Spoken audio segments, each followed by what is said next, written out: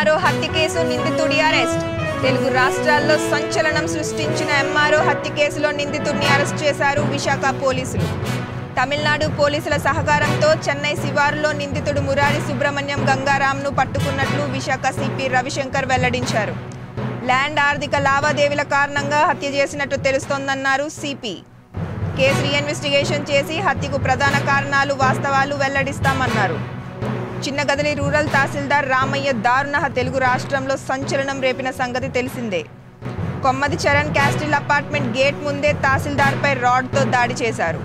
దీంతో రామయ్య అక్కడికక్కడే కుప్పకూలిపోయారు. చికిత్స నిమిత్తం స్థానికులు ఆసుపత్రికి తరలించారు. ఆసుపత్రిలో చికిత్స పొందుతూ రామయ్య మరణించారు.